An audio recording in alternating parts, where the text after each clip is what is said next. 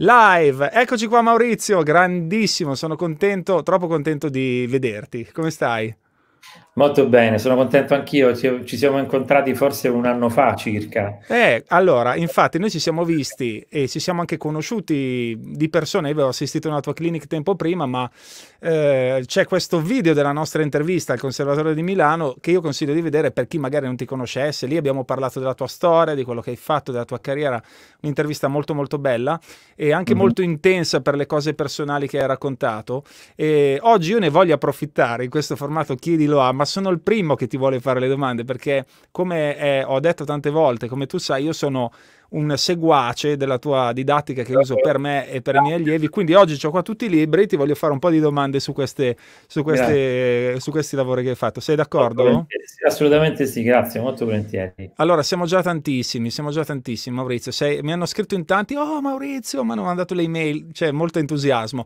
Io voglio Beh. dire una cosa prima di cominciare e ti voglio veramente ringraziare da parte mia, ma anche un po' dalla comunità dei batteristi, perché sì. se, eh, se chi ti segue su Instagram, Instagram sa di cosa sto parlando perché credo che tu sia, l'ho anche scritto pubblicamente in un post, credo che tu sia uno dei pochissimi batteristi, soprattutto di una certa generazione qui in Italia, ma non solo, devo dire, che trasmette veramente un valore enorme con i post che fai su Instagram perché chi, eh, chi, va a vedere i tuoi post potrà vedere che magari metti o una foto o un video, una performance o qualcosa che non mm. è qualcosa finalizzato a far vedere che sai suonare, che sei bravo, che hai fatto le cose, che hai girato il mondo, eccetera, eccetera, ma a trasmettere la tua esperienza personale, che è un po' quello che scrivi anche dentro ai tuoi libri, no? Le parti testuali sì. sono molto belle. Io ti ringrazio molto perché quello che tu condividi eh, è una lezione sempre per tutti, io credo. Quindi grazie. seguite Maurizio su Instagram, ragazzi, perché è, una, grazie, è un grazie. profilo favoloso. Grazie allora, Maurizio, cominciamo, dopo tutti questi complimenti che ti ho fatto. Grazie. Allora, Anche... cominciamo un po'. Io oggi eh, volevo chiederti dei consigli sì. su come studiare sui tuoi libri, per esempio. Da quale eh. vogliamo partire? Time Rudiments, che è il mio preferito di tutti quelli che hai fatto, posso dirlo? Sì. Time and Groove, che è un altro libro molto bello. Adesso tra un po' uscirà anche finalmente qualcos'altro di nuovo. Qualcosa di nuovo. Si, si, si, diciamo può dire, non si può. È in cantiere già da diverso tempo e tu lo sai, mi hai anche preso in giro per questo però sono contento. No, perché sono passati un po' di anni. Mi ricordo che a quella famosa clinic dove ti vidi almeno 6-7 anni fa, già dicevi comunque ragazzi, adesso farò un libro con la versione la- latin di questa roba qua, bomba. Sì, guarda, apro subito una parentesi in merito a questa cosa. Il libro è pronto, la, la, la verità adesso è che avendo appunto lavorato per tanto tempo, è venuto fuori talmente tanto materiale che non sono riuscito ad inserirlo in un unico volume, se no sarebbe venuta un'enciclopedia, qualcosa, sì. un mattone che sarebbe stato pesantissimo. Quindi eh, sto dividendo questo unico volume in due volumi con due livelli differenti, nel senso che ci saranno comunque gli stessi argomenti del territorio africano, cubano e brasiliano, ehm, però divisi per livelli, per cui livello 1 e livello 2, perché nello stesso libro sarebbe stato un po' pesante. Quindi il lavoro allora, quella sarebbe, scusami se ti interrompo, sarebbe la, la parte 2 di questo libro di Time, sì. di time Groove, ok? Sì, mi, mi, dici in brevis che cos'è questo sistema di studio Time Groove? Perché molti, molti dei tuoi libri hanno dentro la parola time, ok? Che è un argomento mi sembra che ti stia parecchio sì. a cuore. Eh. Mi dici di che cosa parla questo libro e eventualmente com'è il concetto anche del prossimo, visto che si, si sta parlando Guarda, sempre del... Se tu me consenti, io vorrei fare una piccola premessa, che probabilmente potrebbe essere qualcosa che chi, chi, magari non ha mai avuto modo o non mi conosce, insomma, può in qualche modo capire la, diciamo, cosa c'è dietro ognuno dei miei libri, perché a partire dal primo all'ultimo c'è comunque un comune denominatore. Io in realtà eh, in tutti i libri ho voluto evidenziare un concetto, no? Nella fase di studio di uno strumento, eh, la cosa molto più importante è riuscire a pensare bene a ciò che stiamo facendo. Non è importante eh, non sbagliare, noi possiamo anche sbagliare mentre stiamo studiando, ma dobbiamo pensare bene, perché se pensiamo bene, magari in un secondo momento potremmo anche imparare a suonare bene, ma se nella fase di studio non pensiamo nel modo corretto, e non avremo la possibilità di migliorare niente di quello che facciamo. Per cui diciamo il concetto di base è trovare la chiave per potersi osservare meglio capire che cosa stiamo sbagliando e nonostante l'errore trovare una chiave per cercare di evitarlo. Questo ci potrà permettere in un secondo momento di, di migliorare il modo di suonare, perché se noi crediamo soltanto aggiungendo materiale di, di, di cambiare qualcosa di, di, determinante, probabilmente partiamo col piede sbagliato. Poi tu sai meglio di me che in questo momento abbiamo davvero tantissimi libri, no? Fortunatamente rispetto al passato c'è un grande cambiamento, l'abbiamo già detto l'altra volta, forse prima avevamo poche cose, adesso forse ce ne abbiamo anche troppe. E il vero problema sostanzialmente, secondo me, che oggi probabilmente ci mette in difficoltà, è il fatto che abbiamo tantissimo materiale, tante cose a disposizione per poter magari, eh, che ne so, a te piace Mark Giuliana, dici io mi prendo il libro di Mark Giuliana, vedo tutti i suoi concetti, imparo tutte le cose che lui ha studiato, mi piace Vinny con l'aiuta, prendo tutti i libri di Galicefi, certo non diventerò come loro, però so il percorso didattico che hanno fatto. Ma dal mio punto di vista, e questo in realtà è quello che io vorrei, vorrei ottenere attraverso i miei libri, la cosa più importante che, che, ci riguarda noi tutti, compreso me perché io sono il primo studente dei miei libri, cioè li studio più degli altri, la cosa più importante è farci una domanda, io a che punto mi trovo? Nel senso che oggi abbiamo davvero tantissime cose, ma non abbiamo la capacità di, di capire se que- quella cosa siamo pronti e che cosa ci manca prima di fare quella cosa lì. E quindi questo aspetto è un aspetto molto importante che, che, praticamente io ho cercato in qualche maniera di esprimere nei, nei, libri, dando la possibilità ai ragazzi, ovviamente con l'aiuto di un maestro è ancora meglio, di capire quali sono i propri limiti e fare i vari steps per raggiungere determinati risultati.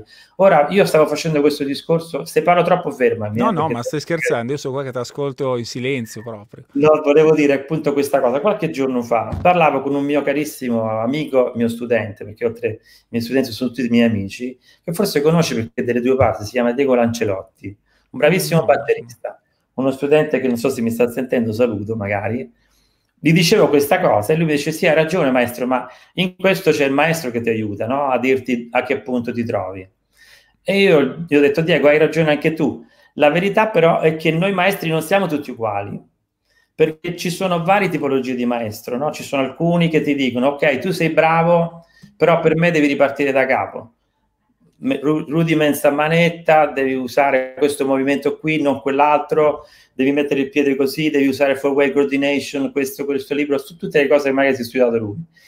Un altro maestro ti potrà dire: No, tu sei talmente bravo che puoi fare già The Black Page di Frank Zappa. Per una, fra una settimana portami The Black Page, quando magari a lui gli servirebbero dieci anni. Poi magari invece ce n'è qualcun altro che dice: Ok, siccome tu ti vuoi divertire, prendi il pezzo di Maroon 5 e suonaci su. C'hanno ragione tutti, non è che c'è qualcuno che ci ha torto, perché se uno ottiene un risultato da quell'allievo, perché magari sa che quell'allievo ha bisogno di quello, c'ha ragione, per cui non posso dire che un insegnante è giusto e un insegnante è sbagliato. Quello che secondo me conta però è che l'allievo deve avere la percezione che il suo insegnante sia onesto con lui. E, e, e come lo fa ad avere? Deve, deve avere anche la, la capacità lui stesso deve averci la capacità di poter riconoscere le sue difficoltà. Perché va bene la stima, io lo dico a tutti i miei allievi, tu poi potrai chiederlo, va bene la stima, va bene la fiducia, ma se io ti chiedo una cosa, sperimenta, dopo magari mi puoi anche dar torto. Con quanti ho discusso sull'internal clock, che magari è un esercizio sul quale io ho insistito moltissimo perché mi sono reso conto negli anni che poteva essere realmente utile. Qualcuno magari non mi ha dato fiducia, io ho detto ragazzi, poi provate, state lì un mese tutti i giorni senza aspettarvi nulla, poi vi accorgerete che qualcosa comincia a cambiare anche senza cambiare nulla di quello che avete già fatto. Quindi diciamo sostanzialmente, se, se vogliamo dirla tutta, nei libri, in tutti i miei libri, ho cercato di mettere dentro questo elemento che si riferisce al fatto che ognuno in qualche modo ha degli strumenti per riconoscere il, il, i propri errori, per capire a che punto si trova. Ecco, mi sforzo di fare questo in tutti i libri, dal primo all'ultimo. Infatti non... mi sembra, non mi ricordo in quale dei tuoi libri, però mh, ce n'è uno dove introduci proprio il discorso dell'attenzione che è la cosa che fa la differenza tra il musicista professionista e il musicista appassionato, amatore. L'attenzione sì. intesa adesso no, non per decontestualizzare, cioè il processo che mh, ti permette di arrivare a suonare con un certo focus determinate cose, ma che è il frutto di tutta una serie di esercizi. Mi sembra che sia Time and Functional Coordination, eccolo sì, qua questo verbo, adesso qua, questo. Sì, sì. Questo è un libro un po' particolare che probabilmente non è così semplice. È l'unico che non ho finito dai tuoi, eh? È l'unico. Ma, guarda, Mi sono arenato a un terzo, però l'ho fatto tutto come dicevi e ho detto cavolo, qua ci devo stare tre anni. Guarda, se ti posso dire la verità, in realtà, volendo essere onesti, è, è molto difficile. Sì, lo possiamo sfogliare un libro, ma finirlo io per prima che l'ho scritto, so quello che deve studiare più dei miei allievi perché ho meno tempo. E, e, quello è uno di questi, insomma, uno di quei lavori in cui c'è non solo la, la necessità di studiare le varie cose, ma di metterle sempre più a fuoco, così come parleremo dopo. In realtà in quel libro in particolare io mi sono occupato di un aspetto un po' differente, no? Io, eh, come ho scritto nel libro qualche tempo fa, ero sempre alla ricerca di qualcosa, come tutti quanti noi, o un video nuovo o un libro nuovo che mi desse qualche input nuovo e avevo, sentivo sempre il disagio, insomma, che abbiamo tutti, no? la coordinazione, il timing, il controllo del suono. E allora ad un certo punto, insomma, siccome io sono una persona molto curiosa, mi sono imbattuto eh, in una qualità che sviluppano gli sportivi che si chiama anticipazione motoria. Non so se ne abbiamo mai parlato insieme o se sai no. a che cosa si riferisce. No, no, no. So però che ne parli nel libro. Ti voglio spiegare bene e questo poi è stato, diciamo, il là che mi ha permesso poi di pensare tutte le altre cose. In realtà qualsiasi cosa noi facciamo nasce ovviamente da una programmazione mentale, no? Adesso facciamo diciamo, l'esempio sportivo. Se io sto facendo una partita di calcio, il mio compagno sta tirando un cross dal calcio d'angolo, io senza nemmeno accorgermene faccio una serie di calcoli che avvengono nella mia testa, dei processi biochimici, diciamo, che mi guidano, no? Mi dicono, ok, Maurizio, devi correre un po', non troppo, se no se arrivi troppo presto, qui ti devi fermare, qui devi saltare, qui devi colpire. Diciamo, il campione riesce a fare questo calcolo in maniera qualitativa e arriva al momento giusto per colpire la palla e magari farà anche gol quello che non è un campione probabilmente questi calcoli li fa in modo sbagliato, quindi arriva prima, salta male. Ora, io mi sono accorto che qualsiasi cosa noi facciamo sullo strumento, che sia un piccolo cambiamento, cioè se io sto suonando tu, chat, ti, chat, ti, ti, ti, devo solo mettere due sedicesimi in più, se quei due sedicesimi in più non stanno nella mia testa quell'attimo prima che io li faccia in modo da poterli suonare con determinazione, facendo la proporzione con gli ottavi che stavo lasciando. Ecco, se questa piccola variazione sfugge alla mia attenzione, proprio perché è una piccolissima variazione, questo può essere motivo di sbilanciamento del flusso, eccetera, eccetera. Quindi in relazione a questo ho lavorato su questo concetto dell'anticipazione motoria, scrivendo praticamente delle sequenze ritmiche come sono su, quello, su quel libro lì da fare a memoria e ci sta quindi quella figurazione di due quarti, tre, quattro quarti che, che va suonata di seguito in sequenza perché in realtà in quell'unico esercizio ci sono poi praticamente diverse qualità che tu sviluppi contemporaneamente, non ultima l'attenzione, perché come stavi appunto dicendo tu, una cosa a cui ho fatto molto caso in passato, per, per i musicisti diciamo l'aspetto che principalmente crea differenze tra i professionisti e non professionisti è proprio la capacità di stare attenti. No? Allora, ovviamente noi non possiamo aspettare di stare in uno studio di registrazione per sviluppare quella qualità. Dobbiamo provare ad esercitarci a casa in quella direzione. Ecco, questo genere di, di, di lavoro può darci la possibilità di capire fino a che punto noi siamo in grado o no non solo di gestire l'aspetto tecnico e ritmico, ma anche la nostra capacità d'attenzione dall'inizio alla fine di un esercizio. E quindi ci sono tutta una serie di sequenze per, per migliorare questa qualità. Accanto poi ci sono i vari tools che servono praticamente per allineare i vari colpi all'unisono o i colpi che sono in, eh, su, conseguenziali. Insomma, il libro è abbastanza, diciamo, ehm, non difficile, ma da far bene probabilmente impegnativo, perché ci sono sì, varie cose... Molta, molta, molta concentrazione. Poi ci sì, sono, ci sono anche tutte... cose contemporanee. Tutte le, tutte le varianti e sembra quasi che hai messo insieme un po' i concetti di altre cose che hai fatto, a volte concetti dello stesso libro, magari di te, Rudiments, sì. messi insieme, quindi il livello magari diventa un più avanzato se vogliamo, però cioè, con, un libro così puoi studiare una vita. Ma a proposito di questo argomento qua, eh, tu hai fatto dei libri diversi tra loro, uno riguarda solfeggio la lettura, l'altro riguarda time rudiments, è vario perché tocca vari, vari, vari argomenti. Um, io purtroppo non sono tuo allievo, ma immagino che tu darai diverse possibili varianti di studi anzi invito magari qualcuno, visto che tanti stanno scrivendo che, stanno, che usano i tuoi metodi, che ce li hanno, se sì. ti va di condividere anche qualche variante creativa interessante, per esempio tu hai citato l'internal clock, no? l'internal clock, scusate se mi chino ma li ho appoggiati qua, è proprio il primo esercizio del time rudiments, no? Quindi sì. è, lo faccio vedere, speriamo che non si arrabbi Marco Volontè che lo facciamo no, vedere così, no, vabbè, a parte gli scherzi. Eh, quindi è un esercizio che io ho visto che tu hai anche messo online, l'hai fatto in vari modi, con le mani, con i piedi a velocità pazzesche e poi tante cose si basano su questo concetto, come gli esercizi appena successivi dove poi vai a orchestrare sul kit. Eh, sì. Ci sono delle varianti magari interessanti eh, che puoi sì. condividere su questi tipi di studi o, o consigli proprio di cercarcele noi, voglio dire... Mm, come, questo... come approcci con un tuo allievo, come glielo approcci lo studio dei tuoi libri?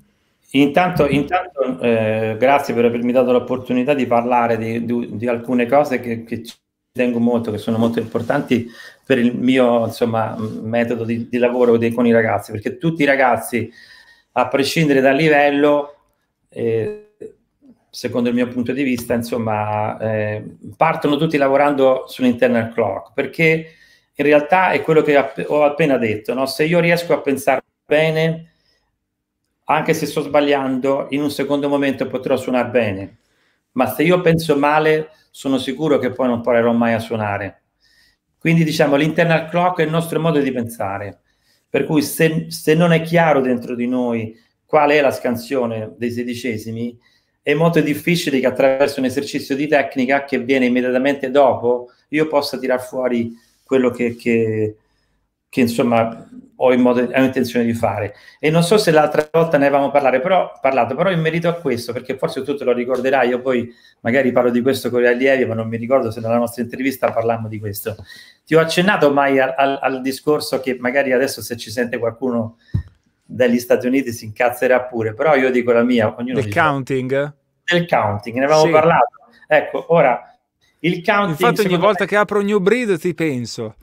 Allora, però ti voglio spiegare una differenza. No, no, aspetta. No, scherzo, scherzo, scherzo. Ma io, guarda, fa... so... me la ricordo benissimo quella cosa. No, che tu sostanzialmente fare... dicevi che il counting vocale potrebbe addirittura crearti un ulteriore problema perché è un elemento in più di coordinazione che devi gestire. Dico eh, male? Dico questa cosa, giustissimo. A proposito del New Breed, mi dai l'opportunità di dire una cosa.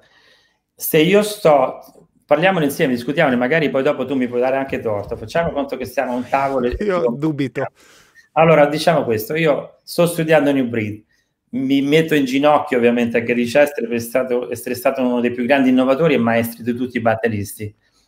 In quel metodo lui ci consiglia di cantare le varie voci, quindi di concentrarci su ognuna di quelle voci perché lasciando più attenzione, canalizzando l'attenzione su quella voce, è più facile che noi riusciamo a metterla a fuoco, no? È come quando noi in realtà, io dico sempre ai ragazzi, tu stai suonando un andamento, però del tuo andamento c'è sempre qualche voce che da sola rende l'idea di quello che tu devi fare, no? È come quando tu, che ne so, tu stai guidando la macchina, eh, stai facendo tante altre cose, schiacci la frizione, cambi le marce, parli con qualcuno, qualcuno telefona anche, però il tuo focus è la strada. Se tu non guardi la strada vai a sbattere. Ecco, anche quando suoniamo c'è un focus. Il focus è la pulsazione. Noi non possiamo per un attimo abbandonare la pulsazione. Possiamo dimenticarci del rullante, possiamo dimenticarci della cassa, ma non possiamo dimenticarci della relazione con la pulsazione del battery. Ora, in merito al discorso del counting 1 E and the 2 E and the 3 E and the 4, se io canto male questa suddivisione, sono sempre io a cantarla, sicuramente dico male alle mani quando si devono muovere, cioè non c'è un'altra persona che mi sta accanto e conta al posto mio, no? Se conti al posto mio, io faccio come quando ascolto il metronomo, lui porta il tempo e io lo seguo. In realtà è un po' la stessa cosa. Allora, se io un conto è concentrarmi sulla voce che serve a farmi capire dove sta, ma se io penso in ragioni di timing, cantare one and the two and the three, se nella mia testa non è corretto, non mi aiuta dal mio punto di vista, poi magari mi sbaglio, capito? Non lo trovo, non lo trovo... Funzionale, sì, ho capito. Sì. Forse volevi chiedermi qualcosa, vedo che mi stavi, stavi guardando. No, no, no, no, io sto guardando perché sono, cerco delle domande che magari sono già... Vorrei tenere la seconda parte per le domande, però chiaramente se ne trovo qualcuna che è inerente al discorso che stai facendo, magari te la, va, te la vado a fare subito. No, è chiaro che non volevo, non volevo mettere in discussione il, no, il sistema no, di New Breed, eh, ci mancherebbe. Eh. Ma nemmeno io vedevo, per carità, perché poi dopo ci guardiamo bene, no? Da dire, io sono contrario ad alcuni insegnanti, alcuni insomma, che impongono questo counting agli allievi che, che, dicendo che attraverso quello possono migliorare il flusso. In realtà non è così perché il flusso è un atteggiamento mentale, è uno stato mentale, è lo step successivo che diventa fisico. Ecco perché il lavoro di time and functional coordination è praticamente quello che succede dopo quello che sta nella nostra testa. In realtà quello, il, diciamo, il lavoro di quel libro lì è qualcosa che mette a fuoco i movimenti eh, in modo che siano contemporanei a quello che tu stai pensando. Cioè, se io suono un andamento binario e poi quello stesso andamento deve diventare ternario, c'è una piccolissima differenza tra due sedicesimi binari e due sedicesimi ternari quella piccolissima differenza prima deve essere chiara nella mia testa, quindi un buon internal clock, e successivamente mi, devo avere una buona reattività che mi dica devi muovere adesso il piede, né prima né dopo. Ecco, questi meccanismi, diciamo, non sono musicali, anche perché, come ti ho detto l'altra volta, io non ho la pretesa di insegnare a suonare la batteria, se no l'avrei imparato io a suonarla, per cui non la posso insegnare, ma posso spiegare quali sono i meccanismi che possono ostacolarci, capito? Perché poi ognuno è artista a modo suo, ognuno suona quello che gli pare, ognuno sceglie il suo batterista preferito, ognuno sceglie la sua strada, guai a, a diciamo, a, a, a impedire di, di, perseguirla. Però ci sono dei meccanismi che delle volte ti possono ostacolare. Insomma, io, a me piace insomma, andare a, a spulciare in quell'area lì. Insomma.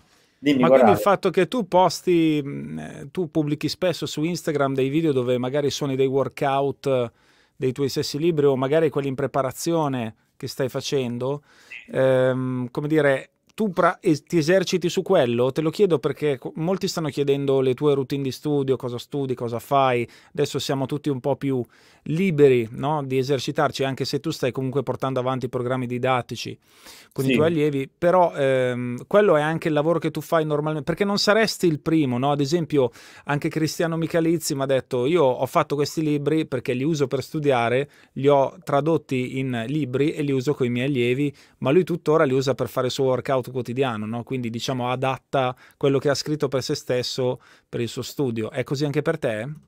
Ma guarda, io devo essere molto sincero, eh, vuoi un po' perché ho meno tempo per studiare rispetto a prima, a prescindere da questo momento particolare di lockdown che comunque non ho studiato lo stesso perché con la testa sono andato un po' fuori come tanti di noi, insomma. Eh, però ci sono alcuni esercizi che io faccio quotidianamente ma, ma giusto per vedere se sono sveglio o se mi sto addormentando. Nel senso che quello che mi interessa è tenere sveglia la reattività. Poi le idee, adesso tu vedi, io mi sforzo di scrivere sempre qualcosina, infatti ne, i miei allievi te lo potranno confermare. Ad ogni lezione che facciamo, io chiedo ad ognuno di loro di scrivere qualcosa, non solo di, di fare i paratitoli, di scrivere un, un, piccolo riff di basso, una melodia, due accordi, per cominciare a, a, pensare più musicalmente, proprio perché ritengo che oggi non è più il momento di fare il batterista che si studia i rudimenti e basta. Oggi il batterista fa un sacco di altre cose ed è riduttivo pensare che, si, che tutto si risolva in esercizi. Per cui quello che faccio più spesso adesso è, mi piace proprio, scusa che chiudo un attimo il telefono, mi sono dimenticato di staccarlo. Quindi Tranquillo. dicevo, eccola, dicevo, mm, non ci sei più. Ci Porca sono, ci sono. Ecco, no, no, ci siamo, ci siamo, Maurizio, ci siamo, ci siamo. Non mi vedo più, che ho fatto? No, no, eh, non lo so.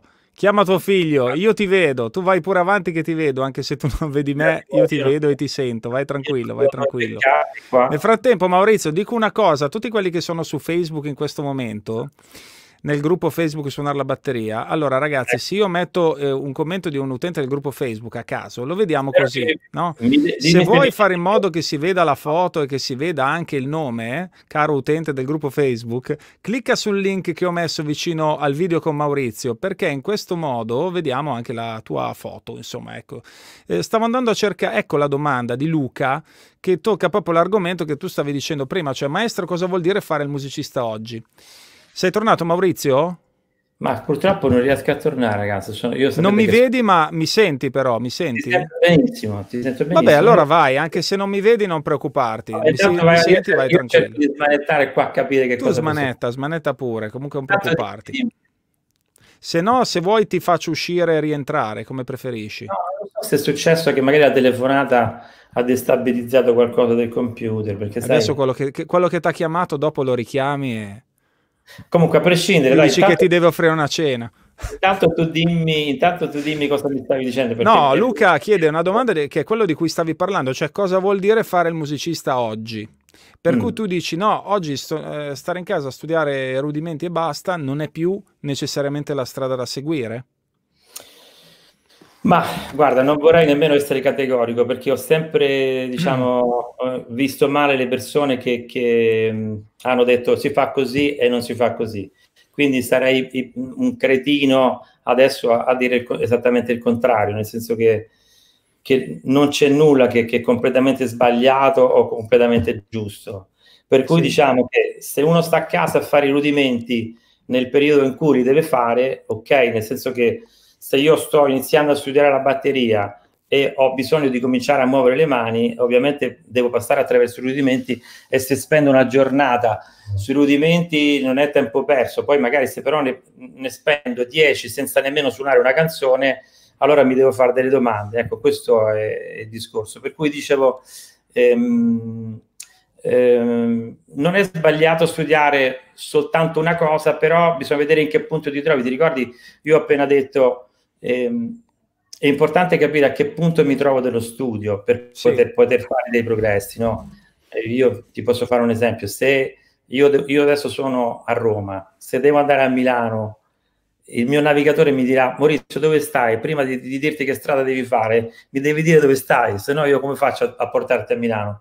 Ecco, per noi è molto importante sapere a che punto mi trovo. Se io sono sul punto che ho già avuto qualcosa dai rudimenti, bisogna che mi muova da un'altra parte. Okay. Se io invece dai rudimenti vado a suonare i, i tempi, i pezzi di Frank Zappa, da lì ho fatto un po' troppo. Certo. E ha fatto un salto troppo lungo, capisci? E ci sono anche molte domande su routine di studio, cose di questo tipo, però c'è una domanda di Isaac San Pietro che chiede se dovessi creare una routine con i tuoi metodi, sarebbe top fare prima time rudiments e dopo time groove? C'è una sequenza che tu utilizzi oppure li mischi eh, in base alle pagine, agli argomenti? Guarda, in realtà sì, intanto è una bella domanda. Guarda, l'unica cosa che io posso dire a questo amico, che poi è quello che dico a tutti i miei eh, studenti, in realtà ehm, l'unico esercizio che è l'inizio di un processo è questo lavoro dell'internal clock, no? Perché dal mio punto di vista è quello che dicevo prima, nel senso che io ehm, se non imparo a pensare bene, poi non posso suonare bene. E allora diciamo che l'internal clock è la base di ogni altro argomento che c'è dopo. Una volta che quell'esercizio viene bene, ma bene intendo dire che io ne sono pienamente consapevole, che quindi sono riuscito anche a, a, mm, diciamo, a sperimentare velocità successive fino a 150, 160, 180, quindi avere una grande reattività, perché tutto è interconnesso all'internal clock. Ti voglio fare un esempio. Io adesso mi riallaccio a un altro libro, nel mio libro di letture, sì. che si chiama Reading, Timing and Ear Training Ecco, quel libro lì, come tu hai, hai visto, penso che tu l'abbia visto, ha una particolarità. In realtà è un libro di lettura come tutti gli altri, però c'ha comunque qualche elemento in più che riguarda proprio l'aspetto del timing e l'ascolto. Mi spiego meglio.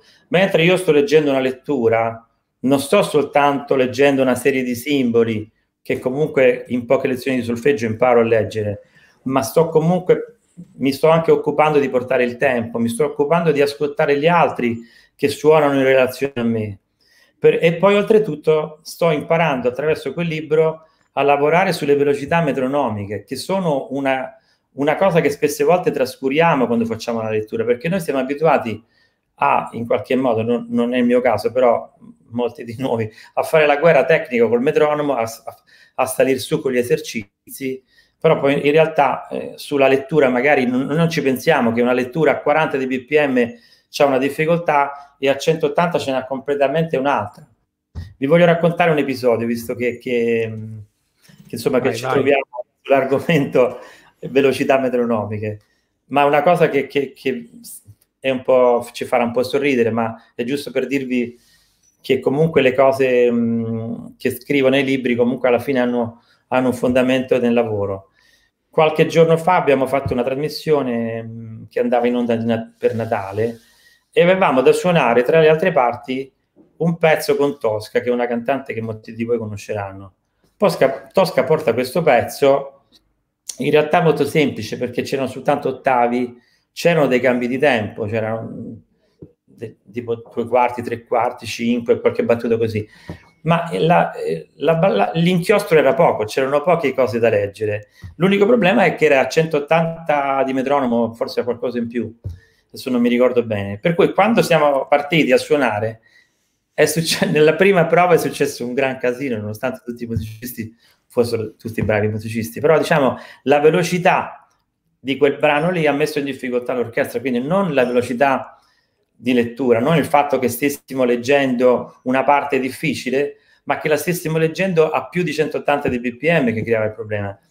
Ecco perché quel libro lì di lettura, io l'ho pensato in questo modo, ci sono già tanti libri in cui uno studia, diciamo, ehm, il solfeggio ritmico, studia ehm, tante figurazioni più o meno complicate. Ci sono anche tanti insegnanti che dicono ok, tu puoi studiare la lettura insieme ad una base audio per cui ti eserciti a suonare, che ne so, un samba mentre stai leggendo dei sedicesimi con quella pronuncia lì.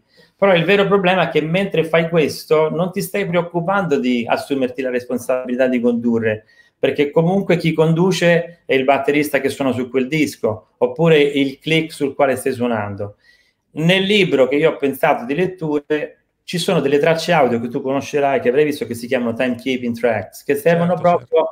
ad abituarti ad avere dei momenti in cui sei tu ad assumerti la responsabilità di suonare correttamente in quegli spazi in cui non hai riferimenti e al tempo stesso sviluppare anche la capacità di ascoltare quel riferimento nel momento in cui arriva e cercare di creare una, una risultante ritmica precisa con quel riferimento, ovvero se sei perfettamente sul secondo battere, se sui 1, 2, 3, 4, alcuni colpi ti capitano proprio lì, tu ci devi stare proprio lì, se sei prima di quel battere lì, deve venire fuori comunque una risultante ritmica, cose che mentre stiamo suonando una parte con gli altri accadono ogni secondo della lettura, però probabilmente chi non ha avuto occasione spesso diciamo, di trovarsi in situazioni in cui doveva leggere una partitura questo genere di, di, di, di difficoltà non, non, non, se la pone nemmeno, cioè questo problema non se lo pone nemmeno. Ecco infatti, perché, infatti voglio eh, sottolineare che ci sono un botto di tracce audio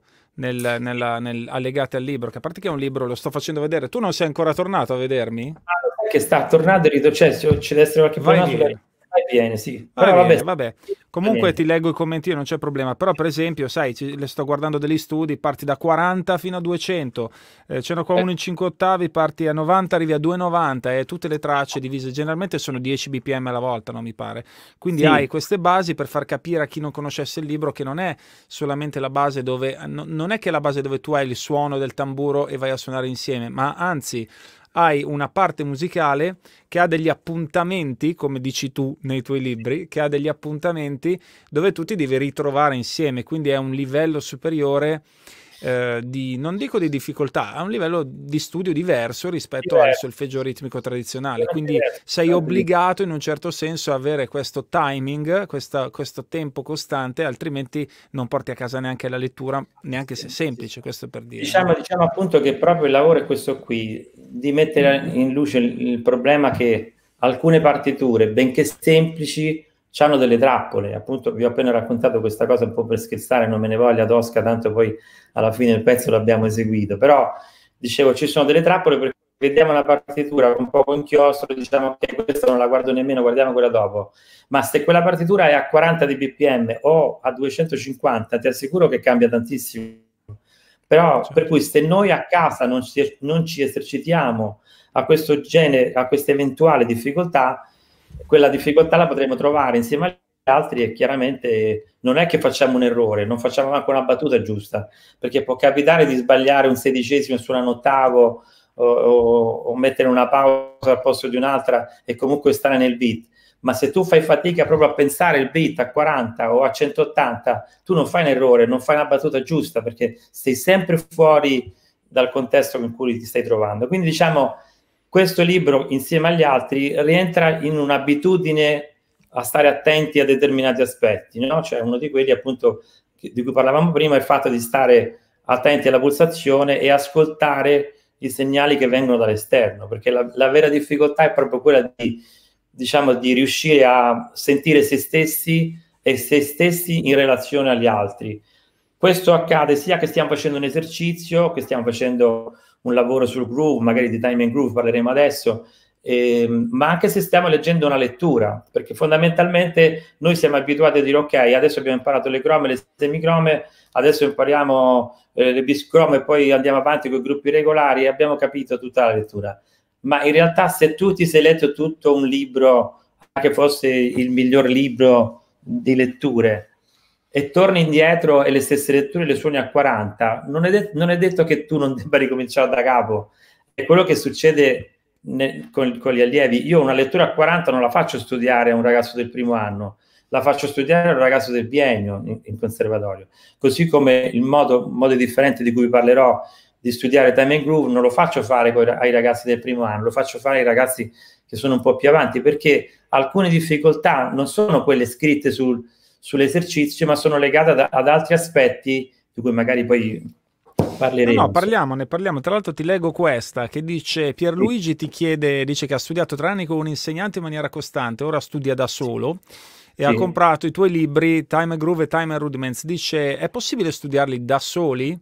Beh, io posso dire la mia, posso dire la mia. Time and Groove è un libro, secondo me, molto accessibile, no? Anche Time Rudiments. Però Time sì. and Groove, visto che ne stavi parlando, sì. Eh, sono curioso di sapere. Vabbè, scusa, ti ho rubato la risposta, ci mancherebbe. Quindi dice: può... no, sono entusiasta del parlare, di, di, raccontarti come io studio e faccio studiare i tuoi libri. Ascolta, cosa gli dice a Pierluigi? Può studiare da solo? Ma guarda, sicuramente Pierluigi, eh, la guida di un insegnante di coscienza ti può essere d'aiuto sicuro, no? Anche perché, voglio dire, anch'io qualche volta suono qualcosa e chiedo ai miei, ai miei allievi come ti, come ti sembra perché il parere di un altro conta sempre, no? Per cui, insomma, avere una, una, seconda, eh, pers- una seconda persona con un altro orecchio ti può dare sempre dei consigli.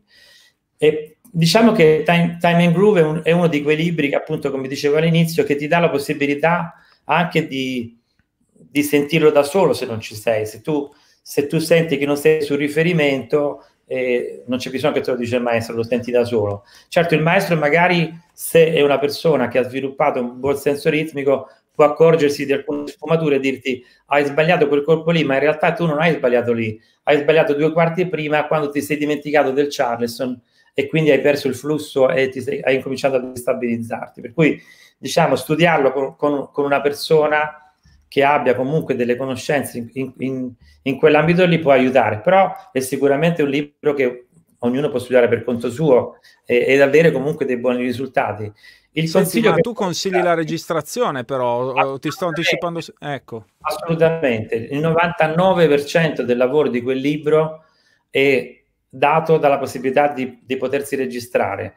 Perché io, fra l'altro, l'ho già scritto nel libro, ma ho avuto un'ulteriore conferma in questo periodo di lockdown, no? perché come tu ben sai è difficile avere comunque una, una videochiamata senza latenza, per cui magari quello suona e non si sa mai se è colpa della, della latenza oppure lui che non sta suonando bene. Per cui i ragazzi registrano tutti i workout e anche loro stessi si stanno rendendo conto di alcune cose che in classe facendo lezione non venivano fuori o perlomeno non erano così palesi. Magari loro si fidavano di me che io dicevo ok guarda qui non va ancora bene rifacciamolo Però un conto è fidarti di me, che uno può fare anche fino a un certo punto, dove anche può dire Maurizio, fatti i cazzi tuoi, per me è giusto. E un conto invece è avere la registrazione e dire ok, ha, ragione Maurizio, qui non ci sono, qui se suona il Charleston in quest'altro modo riesco a, a, migliorare il flusso, oppure mi sto dimenticando della casta perché sto pensando troppo al Charleston.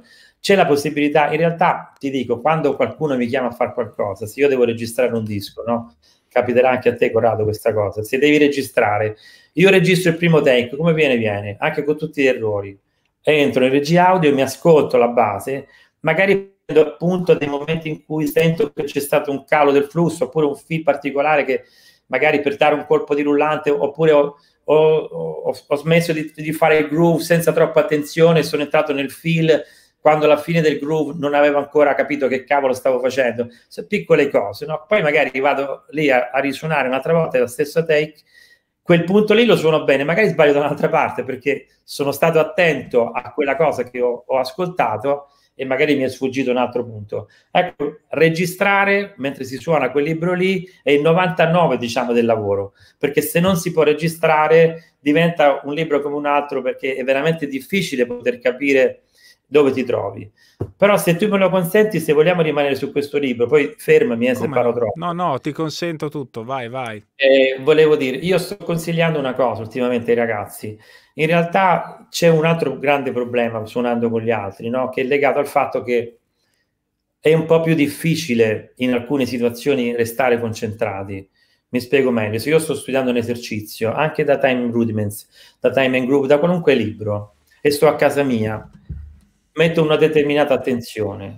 Se sono su un palco e devo fare più o meno la stessa cosa, la, l'attenzione è completamente un'altra. Un esempio ancora più banale.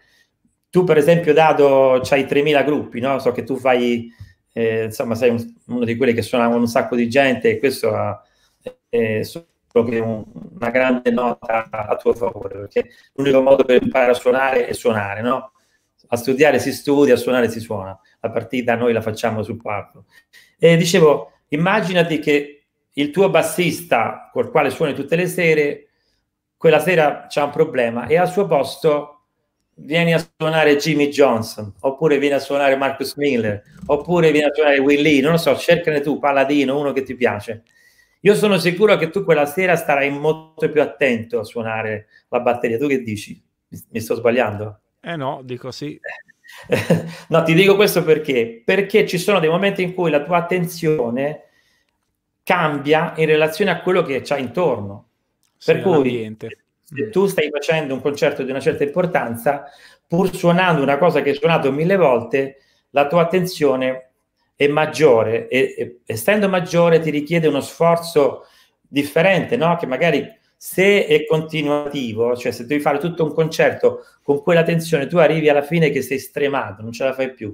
Perché per evitare di non stare attento a quel colpo, io adesso non voglio fare lo sborone, ma vi ricordate quando è venuto James Taylor a Sanremo no? con Jimmy Johnson, che era nella mia cuffia, io amo ovviamente Lorenzo, che è il bassista dei miei sogni, però sapere che era Jimmy Johnson a mettere una nota lì senza il click mi metteva comunque nella condizione di stare attento anche ai respiri che faceva Jimmy Johnson pur di suonare con lui.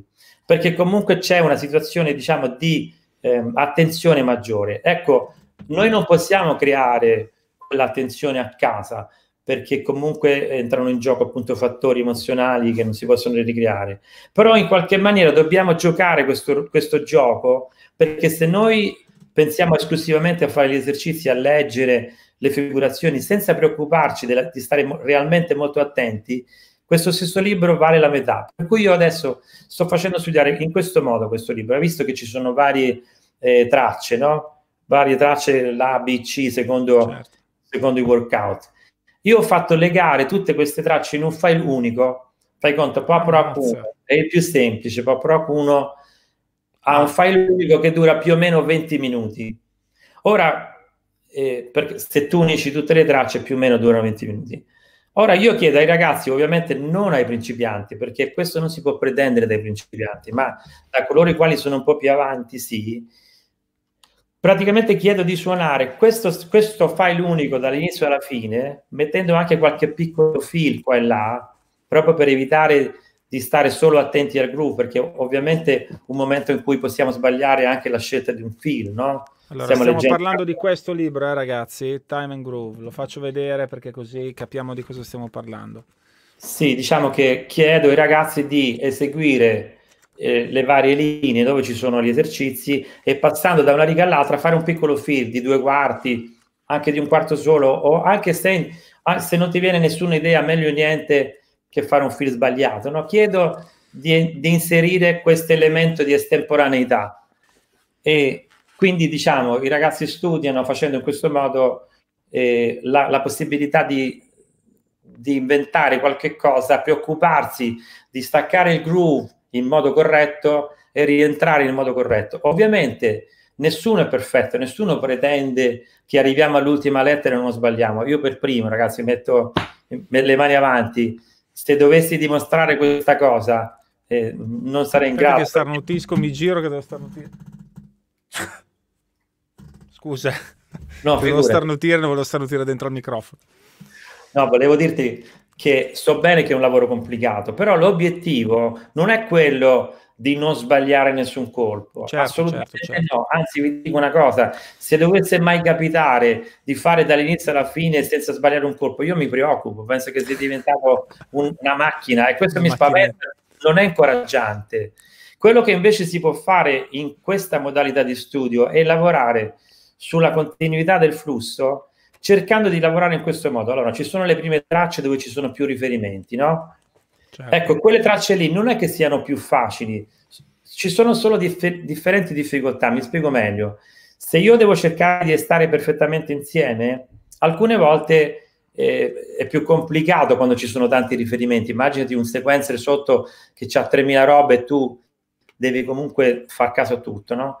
Allora consiglio, ragazzi, se ascoltando eh, la sequenza, il, il, colpo di riferimento diciamo, della base, vi accorgete che siete un po' avanti o un po' indietro, dovete immediatamente essere sensibili a capire quanto vi siete spostati in avanti o un po' indietro, in modo che nell'appuntamento successivo sarete già pronti. Torni in eh, carreggiata, certo. Quando invece ci sono le basi ultime, in realtà là ci sta il problema opposto, nel senso che lì ci sono meno riferimenti, magari ce n'è uno ogni tanto, lì ti devi responsabilizzare e devi pensare al tuo flusso, no? senza preoccuparti di, di trovarti in quegli appuntamenti. La cosa da fare, insomma, però, che io consiglio insomma, di, di stare attenti e di evitare, è che nel momento in cui suoni le ultime tracce, dove ci sono pochi riferimenti, c'è ovviamente il rischio di trovarti un po' avanti o un po' indietro. Nel momento in cui arriva questo famoso riferimento, evitiamo di dare un'inchiodata a dire cazzo sono andato avanti e, e frenare complet- oppure accelerare qualora mi, sono, mi fosse accorto che ero avanti. Prendiamo atto che quel colpo lì non sta a posto e, e nello spazio che c'è fino al prossimo appuntamento cerco di, di fare quella, quella piccola autocorrezione nel groove in avanti o indietro che mi permetta di essere alla, all'appuntamento successivo a tempo. Perché l'obiettivo, come vi dicevo prima, non è quello di essere perfetti perché innanzitutto non ce ne frega niente, abbiamo già detto sono, c'è già Pro Tools che fa questo per noi.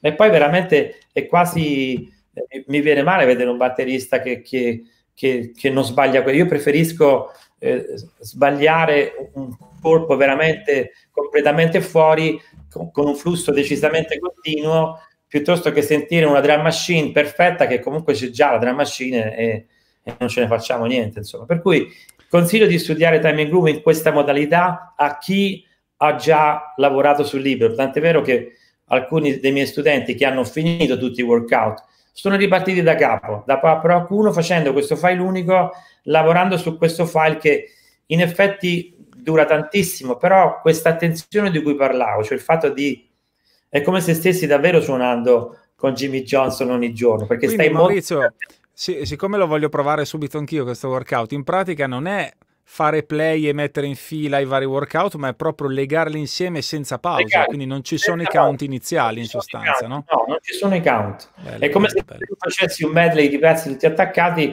e devi stare attento dal primo pezzo all'ultimo, quindi non metti sotto pressione solo l'aspetto tecnico, che magari nei primi workout è minimo, ma sotto l'aspetto attenzionale sei veramente sotto pressione perché non, non c'è un momento in cui ti puoi distrarre per 20 minuti. E dal mio punto di vista mi posso sbagliare guardato perché io non sono nessuno per, per dettare legge nella didattica però è uno, è, sono 20 minuti spesi molto bene dal mio punto di vista perché tu hai la possibilità di verificare davvero se sei in grado di stare attento o no perché è, è una, sensaz- è una condizione molto più vicina a quello che succede quando in realtà stai suonando, perché noi sappiamo bene che il calciatore, per esempio, si prepara facendo la palestra, facendo la corsa, facendo i pesi, facendo il fiato, però la sua partita la gioca in campo, no?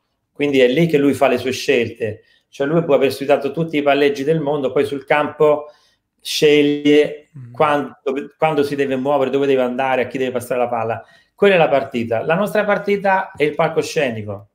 Ora però, se noi ce la giochiamo solo quando, quando siamo sul palco e non ci prepariamo adeguatamente a casa, rischiamo che giochiamo una partita che oggi non ha nessun valore.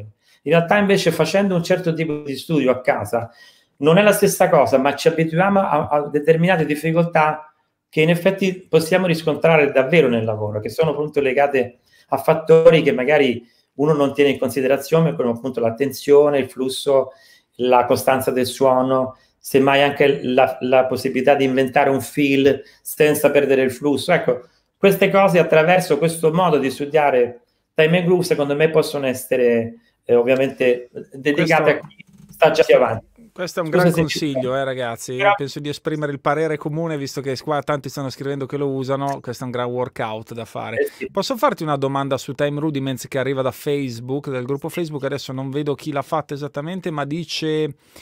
Uh, quanto potrebbe essere utile studiare l'internal clock 1 applicato a stick control?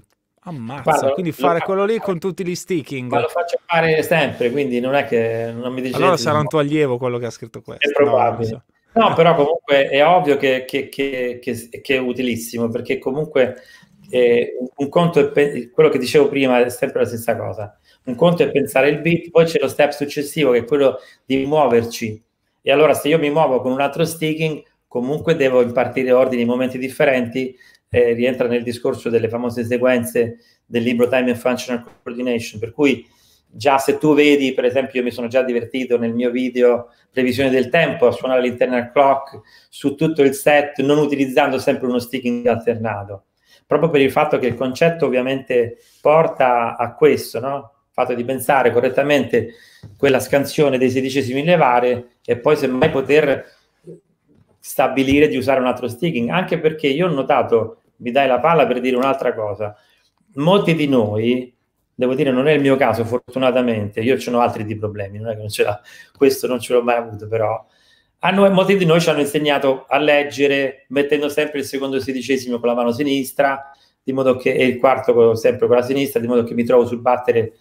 Per molti di noi c'è questa forma mentis no? per cui cambiare sticking come appunto dice questo ragazzo per alcuni diventa quasi un problema perché siamo abituati a suonare tutti i secondi sedicesimi con la mano sinistra Ora, lavorare ovviamente in, in questa direzione va anche contro, diciamo, questo limite che molti hanno nella testa che viene proprio, e, e alcuni anche proprio quando fanno le letture, non hanno la, se, se c'è scritto, se, se, sto leggendo Will Coxon dove ci sono gli stakings è un conto, ma se leggo una lettura, molti sbagliano il ritmo proprio perché non sanno quale staking usare per questa tara mentale di usare sempre questo sedicesimo sul secondo, sulla mano sinistra, su questo secondo sedicesimo, per cui non può essere un vincolo. Quindi sono d'accordo, d'accordissimo con lui, è una cosa che faccio fare anch'io a tutti i miei allievi. Allora chiedono, adesso sono tutti agitati per questo file unico dove si trova. Non si trova, te lo devi non fare. Prendi il CD, allora, apri esatto. Logic, tagli le tracce, le metti insieme e, e te lo fai. Insomma, quindi non è, diciamo non è disponibile. Non è disponibile, è mia intenzione però in una nuova edizione, avendo sperimentato l'utilità di questa cosa, è mia intenzione, siccome Time and Groove, Time, Time and Groove verrà comunque ripubblicato, di mettere questi file unici dando la possibilità di fare download così magari ecco infatti proprio ti, ti, ti, ti, reggo il gioco. Stefano dice che vorrebbe scaricare le tracce perché ha il metodo ma non riescono a metterle cioè adesso ormai i computer non hanno anche più lettori cd Eh, questo bisogna dire una... al nostro amico Volonté, ma io ci sente poco, mi ha sentito solo sull'ultimo libro perché mi sono imposto, però a parte gli scherzi.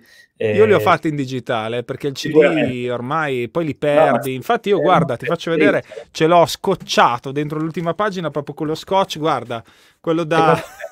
Certo, certo. se no lo perdo, no, fai un no, casino. È giusto così perché poi ormai veramente nessun computer ha più il lettore CD, ma proprio ma non si trovano nemmeno i lettori CD esterni da poter collegare, per cui insomma eh, però adesso vediamo, magari nella prossima edizione, quando verrà ristampato, nella prossima ristampa, volevo dire, metteremo sia questo file unico di cui parlo perché abbiamo appunto visto anche insieme ai miei allievi, che poi ti posso anche dire che vengono fuori un sacco di cose, ma veramente tante perché vengono fuori delle problematiche che, che, sono legate alcune volte a delle problematiche tecniche, altre volte all'attenzione. C'è moltissimi, mi è capitato di sentire alcune esecuzioni di questi file unici che all'inizio magari erano perfetti, alla fine erano sbagliatissimi, ma non perché non sapessero più suonare, perché erano stanchi di stare attenti. In altri, in altri casi invece succede esattamente l'opposto. Alcuni avevano bisogno di entrare nel groove, per cui i primi file non erano a posto, pur essendo più semplici in teoria, no? le prime lettere. Poi una volta entrati nel, come, come succede sì. a tutti noi, quando entri nel pezzo ci sei un po' più in the pocket, come dicono gli americani, no? Per fare un po' l'americano ogni tanto. Però diciamo che alcuni poi hanno meno problemi alla fine, anche se in realtà le tracce ti lasciano più spazi vuoti e tu hai più responsabilità, insomma, di, Oh, vai e vieni, sto cavolo di video, è incredibile. Non ti preoccupare, io ti vedo e ti sento, noi ti vediamo, quindi se tu non vedi Vabbè. me non importa, troveremo la soluzione. Vabbè. Ma ti chiedo una cosa, ci sono tanti commenti su Libro, leggo questo di Sergio Ponti che è un ragazzo tra l'altro che io ho intervistato perché in quel momento stava collaborando con Drameo, adesso Sergio è titolare proprio a Drameo del reparto trascrizioni, quindi complimenti Sergio, te li faccio pubblicamente. Complimenti anche da parte mia. Eh, ecco, è diventato responsabile tutte di un'area, ci siamo sentiti. Dice Time Rudiments serve da tradurre in inglese, credo avrebbe successo perché un altro metodo così dettagliato sull'argomento non c'è. Va bene, abbiamo già accennato, però ce l'avevo qua sotto il dito, quindi te l'ho detta. Volevo Grazie. farti questa domanda Maurizio, poi partiamo anche um, con altre domande che stanno arrivando varie che sto cercando di selezionare perché siamo in un botto in questo momento. Io volevo chiederti, da, tu insegni da tantissimi anni, no? Hai tanta esperienza che hai acquisito. È cambiato nel tempo il tuo modo di insegnare? Cioè, voglio dire hai, hai, cambiato idea su delle cose che magari vent'anni fa credevi che fossero importanti e adesso magari non lo sono più. Ti chiedo questa cosa perché a volte mi, mh, mi chiedono, anch'io a volte mi chiedo su, su, me stesso se vale la pena studiare tanti anni con lo stesso insegnante, no? Ma se l'insegnante, mh, diciamo, progredisce e, e, continua a evolvere nel suo modo di fare didattica, evidentemente il beneficio è anche per tutti gli allievi. Sì. Basta, questa è la domanda. Beh, è una bellissima domanda. Probabilmente non è che ti voglio fare un complimento, ma penso che sia una delle più belle domande che possa fare un musicista che ha una testa e che ha un, un, un pensiero, insomma, anche una competenza. Ed è altrettanto difficile risponderti. Allora, io intanto ti dico rispetto alla prima parte della domanda. Effettivamente il mio modo di, di studiare è cambiato drasticamente ma innanzitutto è cambiato perché il mio lavoro, come ti ho già detto altre volte, mi ha costretto a cambiare. Perché appunto io in quegli anni lì di Berkeley ero in fissa con tutti i modi di fare syncopation, ero entrato nell'ottica che l'obiettivo era trovare un altro modo di fare syncopation. Capisci? Per me era quello l'obiettivo del giorno. Oggi quale altro modo mi invento? Ieri ho fatto questo, oggi mi devo inventare un altro. Quindi era diventato, diciamo, ero dipendente, syncopation dipendente, quindi sbagliavo completamente il focus, nel senso che non puoi pensare che, che la musica è quella lì, la musica è tutt'altra roba. Chiaramente non è che non serva, io non, non voglio infangare chi fa studiare il syncopation, ma voglio ribadire il concetto di prima. Io devo anche capire dove sto, che cosa mi manca per, per arrivare in quell'altro punto. Il mio navigatore, come dicevo prima per scherzare, mi chiede la posizione prima di fare un percorso e probabilmente al momento, a, ad oggi, col fatto che abbiamo tantissimo materiale, è più difficile stabilire questo percorso e stabilire le priorità di questo percorso. Cioè adesso sono qui, quindi per poter andare lì c'è da fare necessariamente questo, quest'altra cosa. Ecco, io in passato ho, ho fatto tantissimi errori eh, e se vi posso dire un errore che ho commesso è stato, lo devo dire anche indirettamente, mi faccio una sorta di complimento, ma è stata una, diciamo, una botta di culo se vogliamo. Il, lo famoso studio dell'internal clock per me è stato un gioco, una sorta di... mi piaceva come suonava, mi venivano in mente le figurazioni che suonavano i timbaleri nel, nella musica salsa dicevo bella questa figurazione qua. Io mi sono accorto dopo di quanto fosse realmente importante e quanto influenzasse tutta la musica, ma non solo del batterista, tutti i musicisti con i quali ho avuto a che fare. Io, come forse ho già detto altre volte, le più brutte figure dei musicisti le ho sentite fare sul beat, perché ci sono state situazioni in cui magari tu puoi anche sbagliare un accordo, dici ok, facciamo un altro take perché lì invece di do ho fatto si bemolle, facciamo un altro take e quello lo metti a posto, ma se tu non sei comodo sul beat, tu non sbagli quella nota, tu sbagli tutto il pezzo, non sai proprio accompagnarlo. Come alcune volte mi capita di sentire dei pianisti che appena hanno una difficoltà sul timing, mm. comincia a sentire che cambiano l'accordo tutti così, non, non, mettono nessuna nota tra un accordo e l'altro perché hanno paura che quella nota li porti fuori dal beat. Ecco, questa sensazione di disagio che probabilmente hanno molti musicisti, al, alcuni magari anche non tanto, eh, eh, anche professionisti, diciamo, diciamocelo chiaramente, non, non, ovviamente non ad altissimo livello, però diciamo questa cosa in realtà nasce molto spesso proprio dal, dalla incapacità di pensare correttamente e mi, mi piace ribadire il concetto che ho detto all'inizio, pensare bene probabilmente ci porta a suonare bene pensare male sicuramente ci porta a suonare male. Cioè, poi possiamo pensare bene e sbagliare in quel momento, perché tecnicamente quella cosa non la sappiamo fare.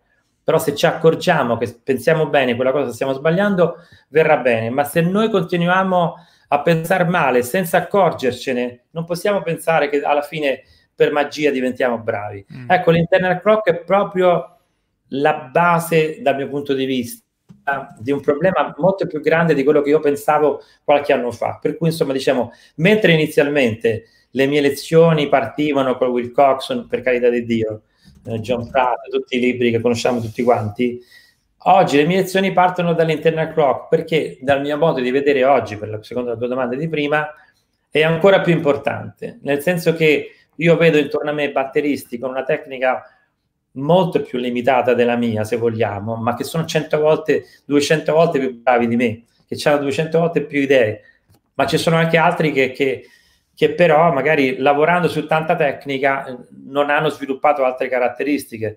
Allora dico, la verità sta nel mezzo, no? Bisogna avere una e l'altra, però quello che realmente non ti può mancare è avere la capacità di pensare correttamente il beat e quello studio ti, ti aiuta molto.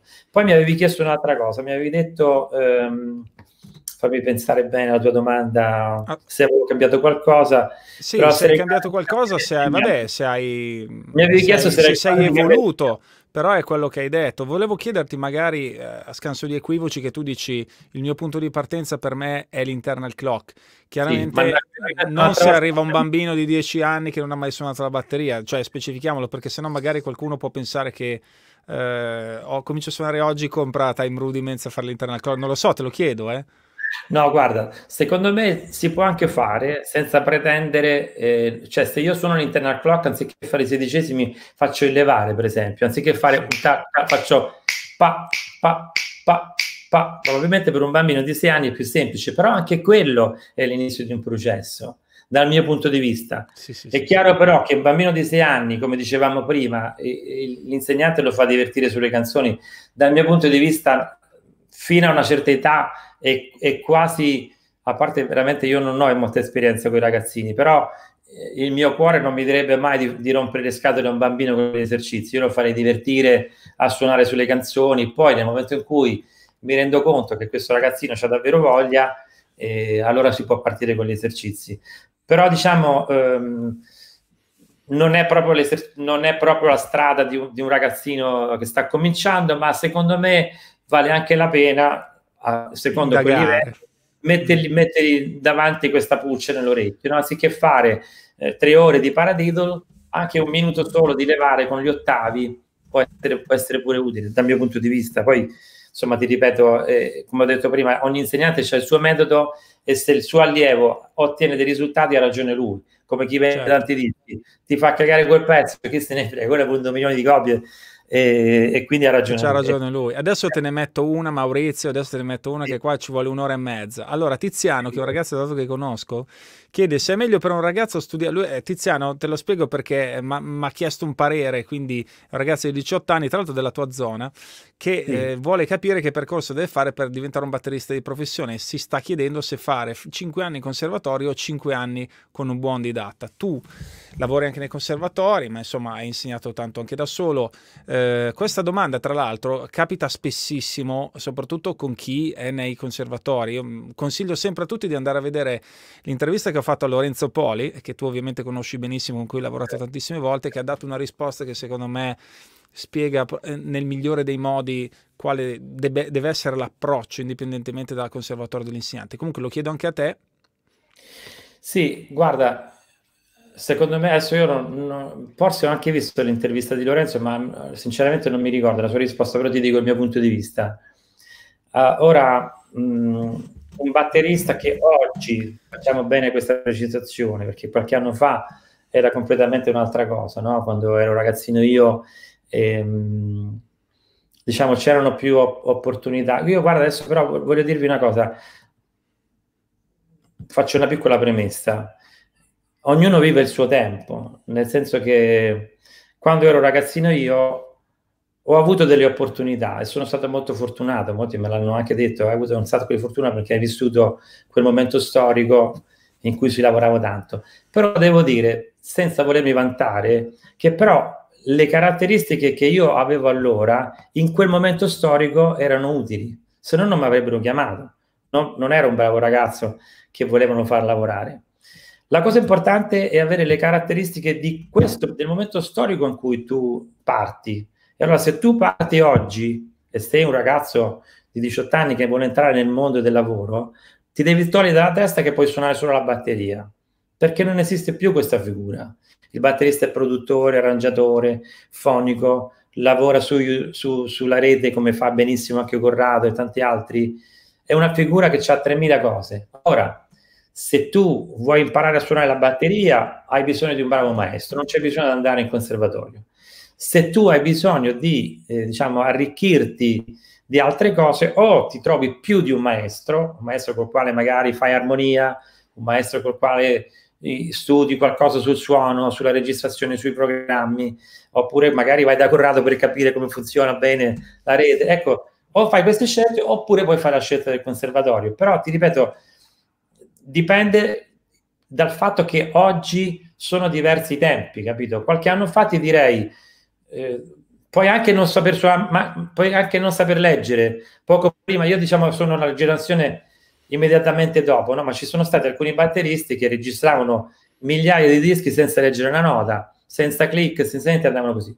Io probabilmente ho avuto un po' di fortuna, se possiamo chiamarla così, non lo dovrei dire da solo, di aver vissuto un momento in cui avevo acquisito delle capacità con la lettura e quella qualità mi ha aiutato a far parte di alcuni contesti. Ecco, quindi per me quindi è importante il momento che tu stai vivendo, il momento storico in cui ti trovi e devi necessariamente fare le tue scelte in base a quel momento. Ora, se stiamo parlando di oggi, questo è il mio pensiero. Puoi andare in conservatorio se ti vuoi preparare con diciamo, una preparazione più generalizzata, dove studi più cose, puoi benissimo scegliere un batterista col quale fare batteria, ma devi anche trovarti un insegnante di di armonia, imparare a suonare il pianoforte, programmare, perché se vuoi studiare solo la batteria hai, hai davvero pochissime chance di fare questo lavoro ad un, a un buon livello.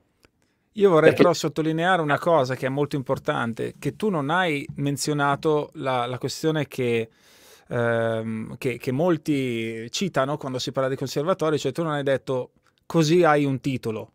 Cioè, tu stai Ma parlando no. di imparare a diventare un musicista, no? No, guarda, un titolo, guarda, adesso per dirti la verità, io lo sai che è poco che frequento il conservatorio, però ho, ho avuto anche modo di, di, Sì, diciamo che il titolo può essere utile, per carità il titolo è, è comunque una laurea, per cui ci sono alcuni che se ne prendono 3-4, medicina, giurisprudenza, è sempre qualcosa. Però io ho sempre valutato il peso del musicista, anzi ti devo dire la verità, eh, proprio ieri stavo, stavo vedendo alcune domande di alcuni candidati all'insegnamento che per la privacy ovviamente non nominerò per carità di Dio, però vedevo tantissimi batteristi di jazz che si candidavano per essere insegnanti pop. Questa cosa la trovavo sbagliatissima per due motivi. Prima per un motivo morale, moralmente, insomma, molti batteristi che hanno per anni suonato jazz dovrebbero sentirsi non pronti per fare una cosa del genere. Secondo, potrebbe essere anche il contrario, no? Io sono batterista pop, non mi metterei mai a insegnare un corso di jazz, ma anche se uno ci mette le mani a un pezzo swing. Per cui già da quello si vede che alcune cose non sono proprio a posto, anche se ti posso dire però che le cose stanno cambiando, nel senso che il titolo di coloro i quali si laureeranno adesso non è solo un titolo che ti serve a lavorare, ma è il tipo di persone che si sono preparate realmente ad un percorso, nel senso che io ti dico, quest'anno inizieranno i primi laureati di batteria, no? E da quello che ho capito, fra l'altro, prossimamente si potrà insegnare esclusivamente con la laurea, se no non si può insegnare più solo con i titoli artistici. Per cui questo diventerà, diciamo, una necessità per chi ha inter- intenzione di insegnare. E da una parte trovo anche giusto, nel senso che uno che ha fatto uh, una grandissima attività suonando solo la batteria senza avere competenze, oggi come oggi, come dicevo prima, non è così pronto ad affrontare il lavoro, mentre uno magari che ha fatto un percorso tipo il conservatorio se lo ha fatto con insegnanti giusti e, e, e, nel posto giusto, si prepara ad affrontare meglio il mondo del lavoro. Per cui diciamo la questione del titolo è molto relativa, ci sono tantissimi laureati che magari stanno a casa, come si dicono, ci sono tantissimi primari di ospedali che sono delle scarpe perché sono raccomandati. Purtroppo sappiamo un po' come funziona in Italia, quindi diciamo che probabilmente cambieranno le cose, essendoci le lauree, eh, ci saranno comunque delle persone che pur insegnando batteria pop hanno comunque avuto un percorso pop. Diciamo che prima di oggi, prima di oggi non c'era questo percorso che diciamo abbiamo tra virgolette molto mo- modestamente e forse anche meritatamente da parte mia iniziato con Lele, no? Perché con Lele abbiamo iniziato proprio il corso di batteria pop rock e basta, non è jazz. Chiaramente Lele Melotti, specifichiamolo per chi non lo sapesse. Scusatemi, sì, sì. E, e quindi dicevo e, avendo cominciato questo percorso ci sono dei programmi, ci sono delle cose che a nostro avviso potevano sembrare utili, per cui in teoria eh, probabilmente cambieranno le cose anche in conservatorio. Resta il fatto che, che il, il, titolo è, è, equivale a qualsiasi altro titolo. Se tu non hai anche delle altre qualità, non hai le famose soft skills di cui parlano gli americani, e, e sei una persona, un deficiente che suona solo la batteria, è molto difficile che potrai avere a che fare con altre persone. Ma io, che... scusami eh, se ti ho fatto questa domanda, non volevo neanche metterti in difficoltà o toccare un argomento che è un po' delicato, ma io avevo fatto anche un video dicendo un po' la mia su quello che è, perché non è tanto pensato per i musicisti questo tuo ragionamento, che poi è molto vicino a quello che ha detto anche Lorenzo fondamentalmente, sì. no? ma per i genitori soprattutto che, cre- che, sono convinti che magari se mandano il figlio a fare conservatorio prenderà un titolo e automaticamente quindi lavorerà come può essere, sai, l'università dove ti lauri in ingegneria, mandi via il curriculum e vai mm. a lavorare in ingegneria. La musica sappiamo che non è così, quindi magari no, piuttosto che scegliere per forza, io non ho nulla a incontrare con i conservatori, anzi eh, mi pento di non averlo, di non averlo fatto, ma eh, prima di andare a scegliere la prima struttura o per una ragione che non ha esattamente a che vedere con gli obiettivi che un ragazzo deve avere, cioè quello di suonare, non quello di andare a fare l'insegnante necessariamente in una scuola, no?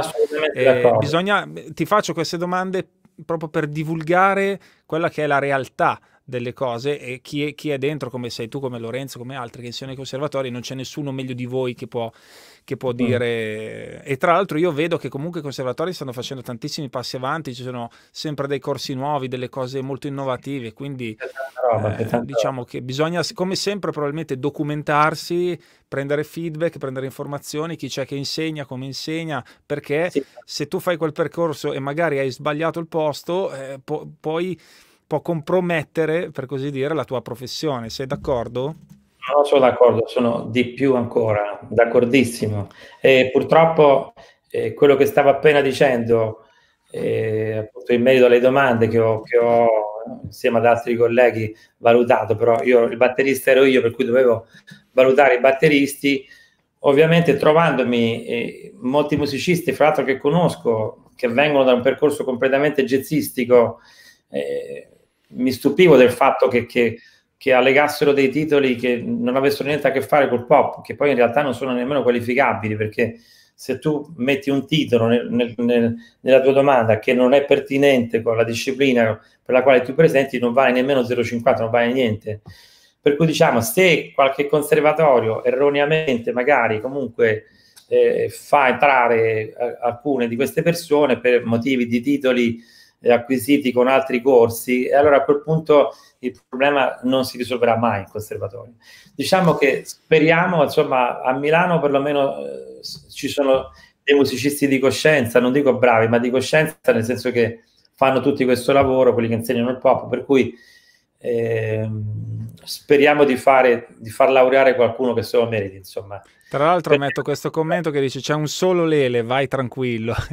sì, eh, infatti eh, io ho detto questo perché pensavo che Vabbè, nessuno... lo dicevo per i neofiti o magari per chi... Senti, magari... ti faccio ancora una domanda, poi ti libero Maurizio perché io starei qua due ore ma non voglio approfittare del tuo tempo. C'è una domanda che anche mi, che mi tocca da vicino, quindi sono anche eh, disponibile e pronto a critiche. Eh, mm. Chiede, volevo chiedere a Maurizio, questo ragazzo che non, purtroppo non vediamo il nome da Facebook, dice, volevo chiedere a Maurizio cosa ne pensa della didattica online online. Molti batteristi sono contrari e mi farebbe piacere sapere l'opinione di un grande didatta come lui. Io ti chiedo anche, allargo la domanda in questo senso, eh, non, non, capiamo se in questo messaggio intende didattica online dovuta ovviamente alla pandemia che ci costringe a fare la didattica su Zoom, chi meglio, chi peggio, dipende sempre come sei attrezzato, ma magari anche la didattica che può essere Drameo, la scuola di Dave Weckel, anch'io faccio, faccio, offro dei prodotti didattici online, volevo sapere tu cosa ne pensi e ricevere un consiglio o una critica da te.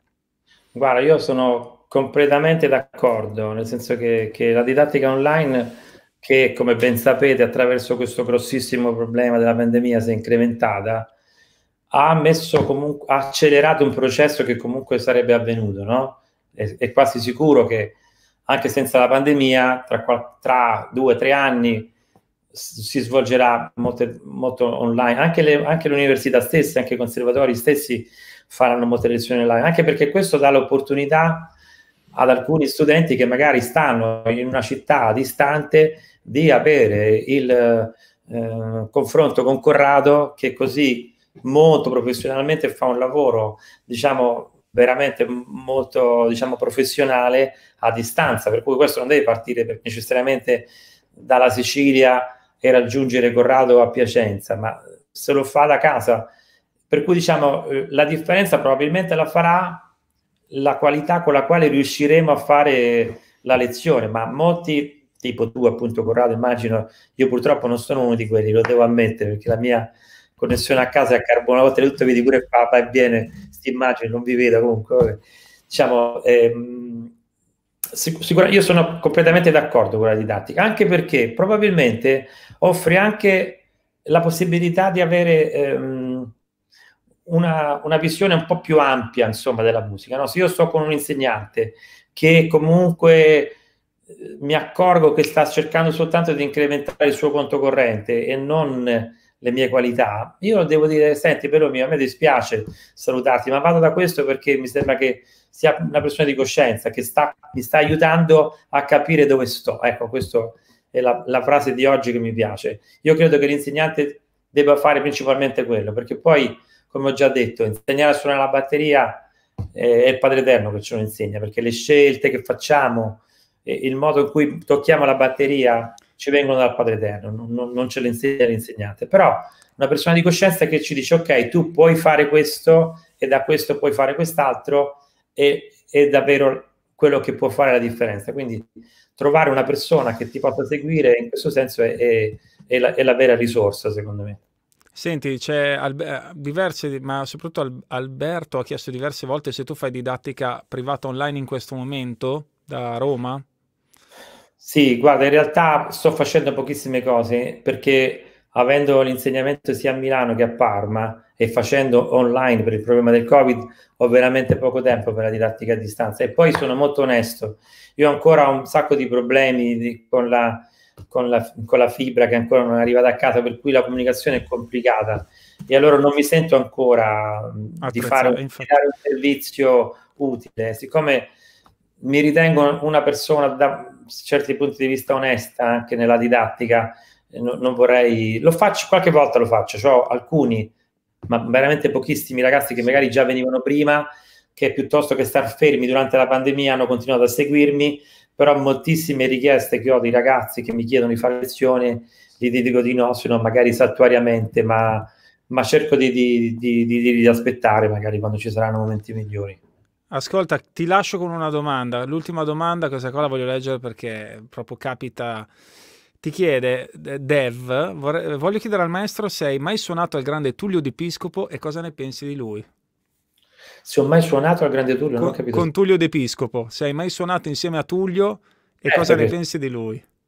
Allora, guarda, mi fai una domanda che mi riempie di gioia. Intanto ti dico che... Lo sapevo suonato... che ti riempivo di gioia, infatti te l'ho fatto apposta per chiudere. Guarda, Tullio io sono veramente un suo grande fan, ma perché chiunque può avere la sua opinione, però mi dovete dire se avete il coraggio, perché ci vuole anche coraggio a dirlo, quanti altri batteristi nel suo momento storico suonavano come lui. Io non li riesco a trovare. Se voi li trovate, magari vi dico sì. È proprio per la ragione di cui vi parlavo prima. Quello che è importante è vivere il proprio momento e avere le caratteristiche per quel momento lì. Tullio viveva in un momento in cui le sue caratteristiche valevano 100. Poteva anche arrivare, eh, in quel momento, poteva arrivare anche Aaron Spears, però suonava in un modo che non serviva. Chiama, avrebbero chiamato Tullio. Non so se, forse è un paradosso, però non, non so se sono riuscito a spiegare questo concetto. Tullio è stato un batterista unico nel suo modo di essere, anche perché è stato un, un batterista di talento, un, un virtuoso per l'epoca, un innovatore perché c'era un sacco di idee, c'era un bellissimo portamento di suo, click, non click, lui suonava comunque bene. E, e quindi è, è, sempre nel mio cuore, insomma, è uno dei batteristi che ho, che ho apprezzato di più proprio per il fatto che c'è dietro lo studio, c'è dietro una preparazione veramente seria, vuol dire lui ha studiato, però il, il, suo più grande pregio è che ha suonato tanto. Io lo dico sempre, per suonare come Tullio dovevi vivere altre dieci vite, e quindi già questo è una cosa. In merito al fatto che ho suonato con lui, sì, perché tantissimi anni fa avevamo un gruppo insieme che si chiamava Scirocco Band, di cui faceva parte io, il povero Rino Zurzolo, Gio Amoruso, e, e, e, accompagnavamo James Enese, Eugenio Bennato, Tullio De Piscopo e Tonio Esposito. Quindi noi eravamo un trio di base che accompagnava questi artisti e abbiamo fatto diversi concerti anche all'estero, siamo stati anche in Francia, e quindi sì, sì, ho avuto occasione di suonare, ovviamente solo in questa formazione, però non, non in tour con lui, insomma, sì. non per il suo batterista, però ripeto, ho una grande stima, un affetto che ogni volta che sento qualcuno che mi dice una parola storta non riesco proprio a resistere. O... È così, ognuno ha, ognuno ha il suo punto debole, quello è il mio punto debole, io voglio molto bene a Tullio, a prescindere da tutto quello che si può dire di lui, io sono molto legato a lui come musicista e anche come uomo, perché lui fra l'altro è uno di quelli all'antica, ha rispetto dei musicisti, eh, è sempre stato una persona che si è comportata sempre bene. Tutti i musicisti. Ogni tanto, sempre... ogni tanto, guarda, non sono ancora riuscito a intervistarlo, spero di riuscirci presto perché me, me, l'hanno chiesto in un milione, ma io sono il primo che vorrebbe intervistarlo. Ma ogni tanto ci sentiamo per telefono e io sono lì in silenzio a ascoltare perché proprio la, tutti i consigli, l'esperienza che ha, ma è proprio l'esperienza umana, non solo musicale. No? E infatti consiglio a tutti, se non l'avete fatto, leggetevi la sua autobiografia, si chiama Tempo, è un libro che tutti devono leggere perché veramente è storia della musica musica italiana, al di là di lui che racconta i suoi aneddoti, i suoi episodi, è proprio storia, un racconto della musica italiana, pazzesco, quello è veramente da leggere. Quindi te la volevo fare, è, ca- è cascata proprio a pennello. Perfetto, Senti Maurizio, io adesso metterò i link a ai libri di cui abbiamo parlato, perché chiaramente ci siamo passati, adesso qua ce li ho un po' tutti, ma poi li metto, li metto nelle note, così eh, chi vuole approfondire va a vedere un po' di cosa si tratta, come funziona. Ribadisco, ragazzi, andate a seguire, fatevi Instagram se non ce l'avete, seguite Maurizio De Lazzaretti, perché i suoi post sono sempre pieni di significato, di valore. Quindi, che cosa posso dire? Io non posso che ringraziarti, Maurizio, perché sarei stato qua a ascoltarti, credo tutti, ancora, ancora un po' di tempo. Ti, ti rinviterò più avanti a fare un'altra tornata perché. Scusate se sono stato un po' prolisso perché io non ho il dono della sintesi, molte volte mi dilungo per spiegare un concetto che magari mi è chiaro, però ci mette un po', forse ho, ho fatto aspettare un po' troppo. No, cioè... guarda, assolutamente, guarda.